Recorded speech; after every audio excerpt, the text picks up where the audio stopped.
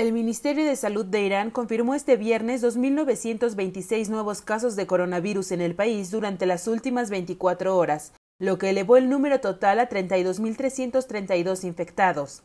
En tanto, el número de muertos ascendió a un total de 2.378, luego de reportarse el fallecimiento de 144 personas a causa del coronavirus. En las últimas 24 horas, 144 personas perdieron la vida tras haber contraído el COVID-19 declaró el portavoz del Ministerio de Sanidad Kianush Jahanpur. El vocero también destacó que el número de pacientes recuperados asciende a 11.133 desde que comenzó el brote en el país.